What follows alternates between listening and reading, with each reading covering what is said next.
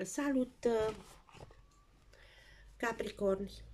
Voi face citirea pentru uh, eclipsa de inelară de soare din 14, de la ora 12, în 21 de grade, balanță. Vorbim aici de o eclipsă care se perfectează pentru voi într-o casă a 10 -a. Uh, carieră, menirea voastră.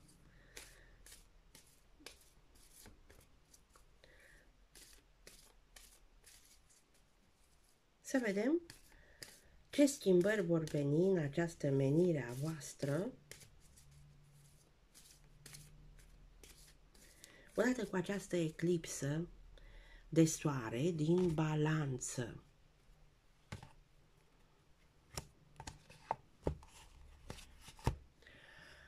Este vorba de un bărbat, un bărbat care poate să vă aducă o veste, poate să vă aducă o informație, poate să vă comunice ceva, poate să fie un bărbat la care apelați fiind o persoană, să zicem, din societate, din, din societate. Ne gândim la... Puteți să ne gândim că vorbim de carieră, de venirea voastră, la o persoană care are o anumită, un anumit statut social, să zicem, uh, care are anumite responsabilități și uh, voi puteți să apelați la această persoană. Deci dă un aspect de genul acesta.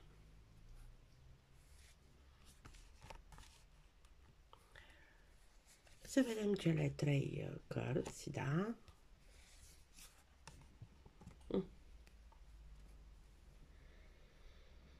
Din câte observați,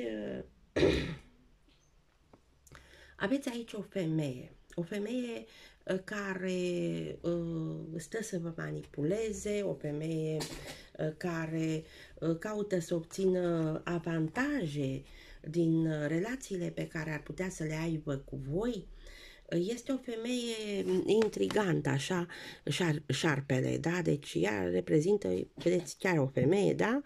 Uh, care încearcă să vă folosească pentru a-și obține ea niște avantaje pentru ea, să vă manipuleze. Dar voi veți primi o veste, veți primi o scrisoare care poate să vină chiar la voi acasă sau uh, voi puteți să-i trimiteți o scrisoare acestei femei uh, și să-i dați o informație legată de o casă. S-ar putea să fie și acest aspect, să-i dați o informație legată de o casă. Fiindcă și ea, manipularea, a făcut-o tot la fel uh, pentru această casă. Să vedem ce se întâmplă cu luna nouă. Știți, deci uh, eclipsa ne aduce schimbări, iar luna nouă ne dă posibilitatea să începem un proiect nou. Ce proiect nou puteți să începeți voi legat de menirea voastră?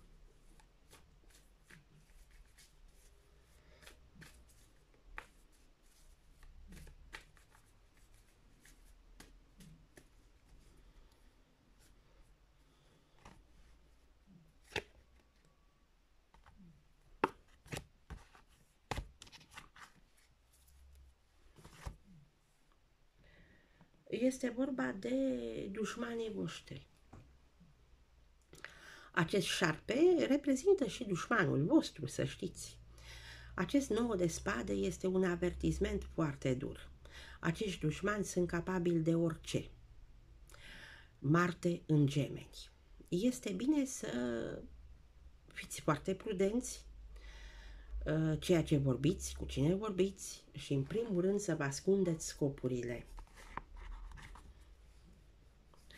Vom scoate cele trei cărți, da? Deci, iată, numai arcane majore. Trei.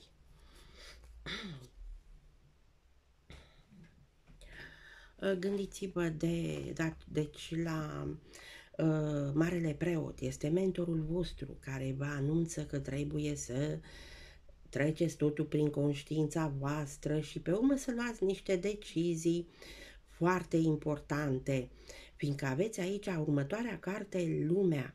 Lumea care arată posibilitatea schimbării voastre totale.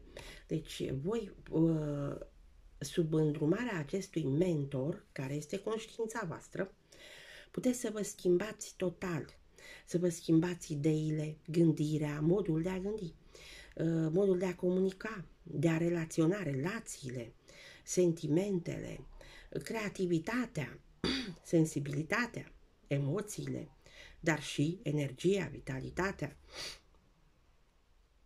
Și toate să vă ducă la o petrecere, la o distracție, la cunoașterea uh, unor persoane noi, relații noi, dar în același timp și voi puteți să arătați relațiile pe care le aveți voi, fiindcă Mercur în rac este în poziția lui de a comunica, de a se uh, face cunoscut. Haideți să vedem ce spun și runele, astfel încât să nu le adun pe jos. Deci asta este, asta o las așa până la urmă că este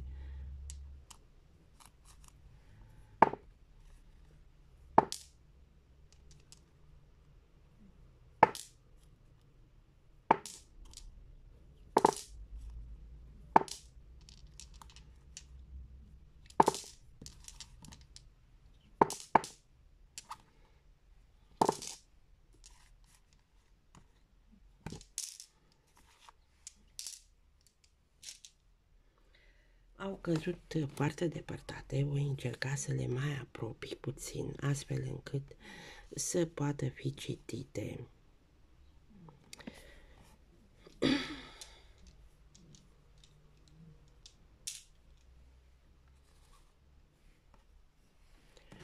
În primul rând, voi începe cu acest secret.